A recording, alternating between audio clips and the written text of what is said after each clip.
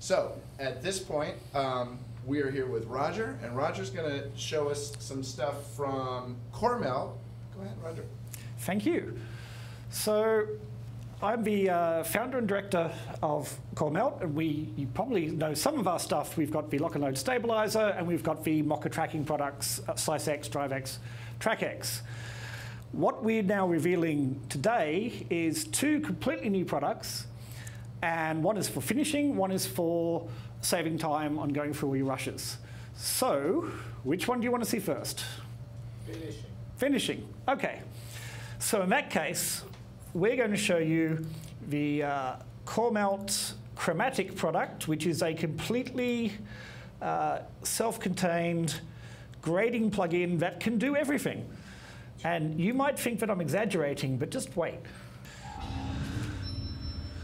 Chromatic is a plugin that will do curves, wheels, uh, tracked masks, degrain, regrain, and pretty much anything else you want to do. LUT loading, LUT management, all in one plugin. So the, the tracked masks is bu built in. Uh, I'm going to run you through some of the features now. Let's go and show you the interface. Let's find a nice clip to start on. Yeah, it's a pretty nice one. So this is Blackmagic uh, log footage. And we need to, first of all, of course, convert it to Rec 709 and then start doing a grade on it. So you see this is a plugin over there. I'm just going to drop in, using floating window, a color LUT. Now, we're going to have the integrated LUT browser from our um, LUTX product in here with the first public release, but at the moment, we're just choosing which one we want to load. Okay, so then now that's got it into Rec 709. Let's just get, make that a little bit bigger. Oops. Right, and then scale this down a bit. Okay.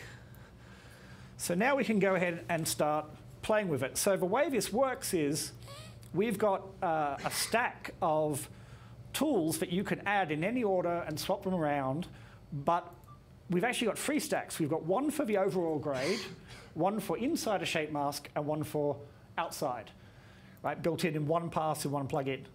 So in this case, let's say, okay, I just want to do overall. And of course, we've got your standard wheels for lift gamma gain, um, or bars for that, which use which work as you would expect. Let's just reset that. And we've also got lows, mid, high wheels. So again, I can just say push the highlights towards whichever, the good old FCP7 color wheels return, which other plugins also do, of course. And let's actually get rid of that. So the really interesting ones, of course, you've got the full RGB curves, which we can enter as many points as we want, pull them around. Now, the other thing about this is that this is actually taking all the different adjustments you put on here and collapsing them all into a single 3D cube look. So it is very fast, playback in real time, um, unless you get into, if you get into masks and then complicated layers, it might slow down a little bit, but for basic grading is all real time. Okay, so let's get rid of uh, that, because actually, no, that's actually looking not too bad. Okay, and then we'll go into, now, this is a very interesting one. We can adjust saturation uh, versus hue so I can say, okay, I just want to play with the saturation of the leaves and push that up or down. Right, play with the angle of the curve there. And if I wanted to put another point on it, so you can get really precise with this.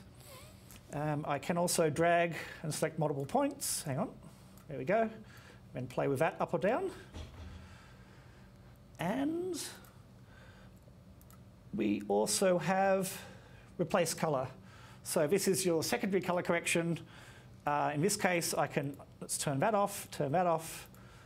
I can choose for color just by dragging it here. Now the color picker is not working yet. This is, this is still beta software, but in the final release, you'll be able to just choose the color here and then go in and, and adjust the color range, including the handles here.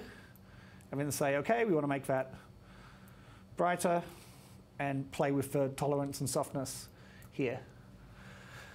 So, I mean, if anyone wants any other tools, we're, we're willing to uh, discuss adding them, but we think that's a pretty comprehensive set of grading tools. Uh, there will be presets, there will be a gallery for saving and loading stacks of plugins. So let's, let's show you a few more specific examples of a different type of shot. So one of the things you might want to do a lot is track the face to protect skin tones. Whoops, that's not what I wanted. Okay. Right, so let's go over to this one here. So this is already in Rec 709, so we don't need to actually convert that. And add the grade tool. So in this case, I'm going to do the mask first. So I'm going to go back, turn on use mask, and just draw the shape for her face and neck.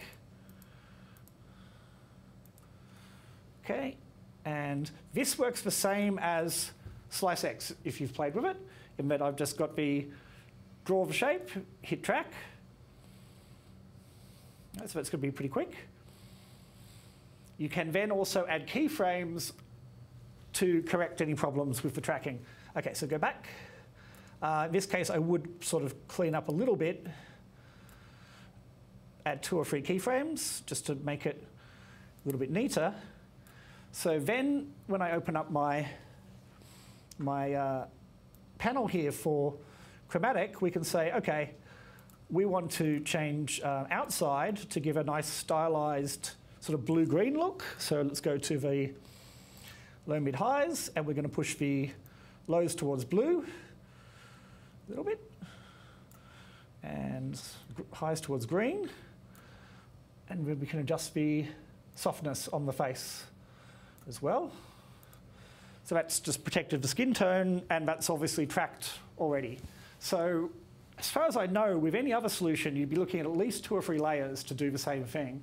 Uh, multiple plugins, and then having to you know, copy paste shapes between them. This lets you do that all in one go, in one pass.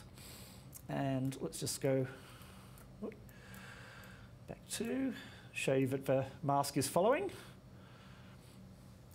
Now, we are going to be including um, degrain and film grain tools with this. At the moment, they're not integrated into the stack of effects here, but they will be later on. So, but we'll include a plugin for film grain um, and for denoise.